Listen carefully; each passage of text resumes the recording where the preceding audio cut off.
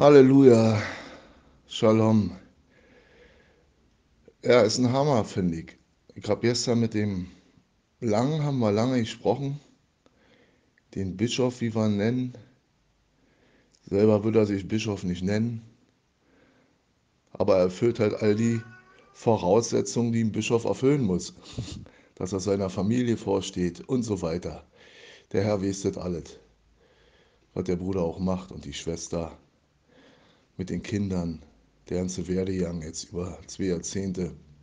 Und wir haben uns so gefreut und das betrachtet. Das ist übrigens der Bruder, der sich dann diese hunderte Sprachnachrichten, als er dann mal ein bisschen Zeit, ein bisschen Raum hatte, auch das alles anzuhören, anzusehen, sodass uns das so nachgegangen ist, worüber, worüber uns wir so freuen an diesem wunderbaren Gott, wie gewaltig das hier ist, was der Herr tut. Man kann das jetzt natürlich reduzieren auf einen WhatsApp-Chat. Ja, oder. Aber was dahinter steht, ist schon der Hammer, gerade in Anbetracht der Zeit, in der wir sind, worauf wir auch immer wieder hindeuten dürfen durch den, der in uns wohnt dass wir die Generation sind, die ja anhand der Zeichen der Zeit beobachten können, dass wir die Generation sind, die die Wiederkunft des Herrn erleben werden und das Ende dieser Welt. Und wie gewaltig es ist, dass der Herr in seiner mütterlichen Liebe, wie die Henne ihre Küken sammeln möchte, gerade sammelt. Aber mit diesem Sammeln ja nicht aufhört. Ja, das, das kam mir gerade so in den Sinn, gerade auch mit Israel, uns zum Vorbild und zur Warnung. Wie er sie sammelt, sie durch Gerichte aus der Knechtschaft des Teufels Ägyptens zubereitet und dann heimholt. Und das ist uns so laut geworden, wie gewaltig das ist, was der Herr hier gerade schenkt. Wie er sammelt. Der Herr weiß ja, was da alle dran hängt. Das ist ja das, was er wirkt. Das, was hier sich ergeben hat, womit wir ja auch als Brüder nie gerechnet haben und darauf auch nie aus waren, sondern uns lag es immer auf dem Herzen, einfach das zu bekennen, was uns der Herr getan hat, das auszusprechen, mitzuteilen, auszuteilen, recht zu teilen und nicht zu zerteilen. Und das bringt jetzt auf einmal Früchte, mit denen wir nie gerechnet haben, worauf wir auch nie bedacht waren, dass Menschen sich angesprochen fühlen, dass sie sich gezogen fühlen von der Stimme des Judenhirten, diesem Ruf, ihres Judenhirten folgen.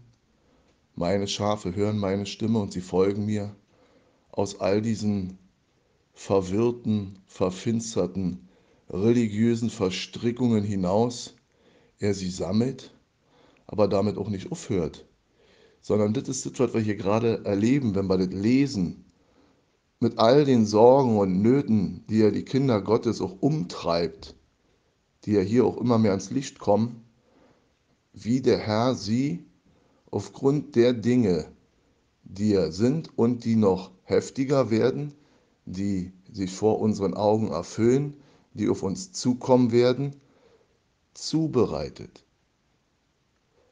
umgestaltet, sodass er sie alleine, und das ist das, was ich gerade erlebe, wenn ich die Sprachnachrichten vom dicken Schaf höre, den Einbringungen aller anderen Schafe und die Schwister, wie sie bewegen, ihre Sorge und Nöte und wie der Herr Antwort schenkt durch Wort, durch Bilder, durch Gleichnisse, durch Handreichung, Liebesgaben, Gemeinschaft, sich zu treffen, Geschwister bewegt, sich auf den Weg zu machen, in ihrer eigenen Familie zum Frauenarzt gehen, irgendwelche Kabelzüge besorgen, Kinderkleidung schicken, wie er in seiner mütterlichen Liebe zubereitet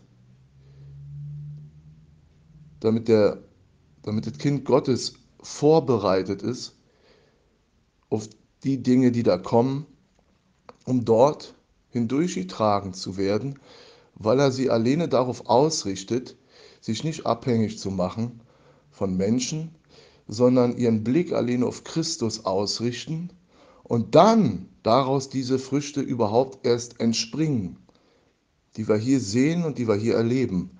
Und das nachher die Kinder Gottes hindurchträgt, sodass er uns dann heimholt. Ja, diese Sammlung, Zubereitung, Heimholung. Gerade in den ganzen Trübsalen, in diesen ganzen Nöten, in diesen ganzen, was uns ja jetzt schon widerfährt und noch mehr widerfahren wird. Und genau das ist ja das, was er hier gerade tut. In diesem geringen, kleinen Kreis, der für mich und wie der Bruder das auch ausgesprochen hat, er wird es kaum fassen können, das lange Schaf auch ausgesprochen hat, wie gewaltig das ist gerade. Und wenn es gerade um ein paar Kindersocken geht, ja, oder wie gerade den äh, Little Roy die Treppen da, das wunderbare Video, Zubereitung, ja, dass er einen festen Tritt bekommt, die Knie gestärkt werden. Schwester Maren hat geschrieben, ja, da, damit er dicke Muskeln kriegt, damit er da dann alleine die Treppen hoch hochkommt mit einem festen Stand. Und das sind ja alle biblische Begriffe. Die müden Knie aufzurichten, einen festen Stand zu bekommen, gegründet auf das Fundament, auf Christus, seiner Liebe zu uns und wir uns darauf, daran erinnern, zurück zur ersten Liebe, sich davon nicht abbringen zu lassen. Und das muss zunehmen, das muss wachsen. Und dazu dient das alles hier gerade. Und deswegen ist es auch so wichtig, auch wenn es einigen den Strich geht, das ist gut so, das ist ja Zubereitung, das ist Ausgestaltung in sein Bild. Das muss ja irgendwas passieren, damit ich ihm nachher gleich bin. Wir sind schon, der Herr sieht uns durch Christus geheiligt, gereinigt, errettet, erlöst. Wir müssen ja nicht mehr Kinder Gottes werden, wir sind es. Und das, was jetzt alles uns widerfährt, wo wir richtig Druck haben, was uns gegen den Strich geht, ist diese Zubereitung, Ausbereitung. Deswegen ist es auch so wichtig, dem nicht zu fliehen. Ja, X und Y hat die Gruppe verlassen. So, naja, gut, dann habe ich halt eine Gruppe verlassen. Aber wenn ein so was widerfährt, dem nicht zu fliehen, denn wir gehören nicht zu denen, die weichen, ausweichen, ja, sondern in dem das aus des Herrn Hand annehmen und ihn dafür danken, auch wenn es beschissen aussieht, wenn es mir überhaupt nicht passt, aber sich dann zu demütigen unter die gewaltige Hand Gottes, ihn dafür zu danken, ihn zu loben, auch wenn ich das alles nicht verstehe, weil es muss genau dazu dienen, dass er uns gerade zubereitet, um uns dann heimzuholen, sodass wir ihn dann sehen von Angesicht zu Angesicht und ihm gleich sein werden. Und aus seiner Sicht sind wir es schon. Wir sind es. Aber einfach nochmal diese Freude, wenn man das alles so betrachtet, was wir auch die letzten Jahrzehnte so sehen, was wir bis zum heutigen Tag erlebt haben, was sich entwickelt hat, ergeben hat, was das eigentlich für eine gewaltige, herrliche Sache ist, die der Herr hier gerade tut. Und deswegen dranbleiben an ihm, denn es geht bald heim. Und darum mietet, ihr Lieben. Genau darum mietet. Halleluja. Das ist mir gerade nochmal so eingefallen im Austausch gestern mit dem Bischof, dem Andreas mit seiner Frau Jana und den Kindern. Immer wieder, also habe ich ja schon ein paar Mal gesagt, wenn ich den Tisch hier sehe, vor dem ich gerade sitze, der ist von dem Lang, der ist sowieso seiner, aber da wurden die vier Kinder auch schon drauf gewickelt, ja, auf dem Tisch, an dem wir hier immer wieder mal essen dürfen. Wie der Herr alles sich zu Nutzen macht, um seine Küken zuzubereiten, nicht nur zu sammeln, sondern sie dann auch zuzubereiten, vorzubereiten, damit sie dann den Ruf hören, geht aus dem Bräutigam entgegen, voller Freude ihm entgegengehen, trotzdem, dass es der Höhepunkt der Nacht ist, der Mitternacht, alles verfinstert ist, alle sich abwenden, alle jemanden verraten, verleumden, die eigenen Hausgenossen, die eigenen Feinde sein werden.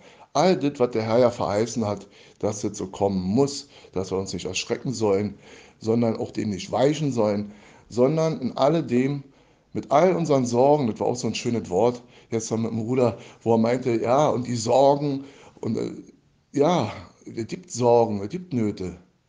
Aber der Herr sagt doch, werfet alle Sorgen auf mich. Kommt doch her zu mir, ihr mühseligen und beladen. Wo rennt ihr? Ich, ich liebe dieses Wort, was der Herr zu Jeremia, durch Jeremia auch sein Volk sagt. Wo rennt ihr denn hin? Ich habe eine zwiefache Sünde wider euch, gegen Israel. Mich, die lebendige Quelle, habt ihr verlassen und sucht euch Zisternen, die löchrig sind und kein Wasser tragen. Ja, das hat keinen Bestand. Da luftet einfach aus, bis man dann elend vertrocknet. Und deswegen ist es so wichtig, dass er sagt, kommt doch her, kommt doch zu mir mit allem, was ihr habt, mit allen Sorgen, mit allen Nöten. Und erinnert euch doch daran, Psalm 103, was ich euch Jute getan habe. Lobe meine Seele, den heiligen Herrn, und vergiss nicht, was er dir Gutes getan hat. Erinnert euch doch daran. Das bewegt doch den gekreuzigten und begrabenen und auferstandenen Herrn, der sich für euch dahingegeben hat, als er noch Feinde wart, dass wir das sind, was wir sind, aus Gnade sind, errettet sind durch seine Liebe, die er nun immer noch in und durch uns wirken will, diese Drubbeln, was der Bruder gerade beschrieben hat, dass das unser Antrieb ist, dass wir ja aus dieser Rechnung im Prinzip gestrichen sind, dass es ja ja nicht mehr um uns geht, um unsere Bedürfnisse, um unser Leben, um unser Einkommen, um unsere Wohnung, um unser Haus, um unser Auto, sondern liebe Gott vom ganzen Herzen, von ganzer Seele und dann deinen Nächsten wie dich selbst. Und da ist diese wunderbare Wort, die Erfüllung, alles, was du willst, dass dir die Leute tun sollen, das tue du ihnen. Wandelt in der Liebe, wie Christus euch geliebt hat. Wo wir dann ans Ende kommen und sagen, Herr, ich kann nicht. Ja, ist okay, aber willst du? Ja, ich will. Na dann lass mich. Und ihm diesen Raum zu heben und sich da nicht abführen zu lassen. Halleluja. Also dem Herrn sei Dank. Ich freue mich riesig über diese gewaltige, auch wenn das viele ja nicht so wahrnehmen, ja, kann man ja rein, kann man ja raus. Wir als Brüder erleben das wirklich als gewaltig, was der Herr gerade in Anbetracht dieser Zeit, dieser Verführung, dieser, dieses bereits geschehenen Abfalls wirkt und tut und sammelt und zubereitet, als der Herr noch Geduld hatte und durch Noah die Arche bauen ließ. Da hat er die, die ihm geglaubt sind, gesammelt und sie zubereitet, indem er die Arche bauen ließ, um sie dann dort heimzuholen. Und deswegen lasst uns da drinnen bleiben, in dieser Arche, in Christus, uns daran erinnern, ermuntern, erbauen, zurechtrubbeln, ja, weitermachen, nicht aufhören, die müden Knie aufrichten zu lassen, zu stärken, einen festen Stand zu bekommen, Öl auf die Lampe zu bekommen. Ja, hatte ich gestern mit einer Schwester sich nach Christus auszurichten, zu wissen, ich bin ja ja nicht von hier. Ich bin ja auf der Durchreise, ich bin ja Fremdling, ich bin ja Pilgrim. Und das, was der Herr gerade macht, ist die Wegbereitung, dass wir nach Hause gehen können. Und geistig gesehen ist es so ja so. Das ist ja der Glaube, der die Welt bereits überwunden hat.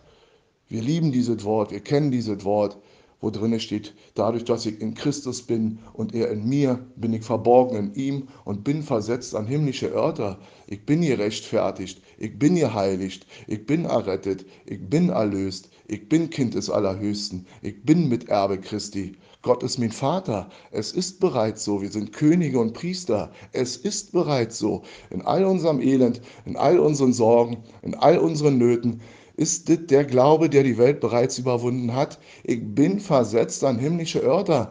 Und das, was noch kommt, ist die Offenbarwerdung dieser Wahrheit.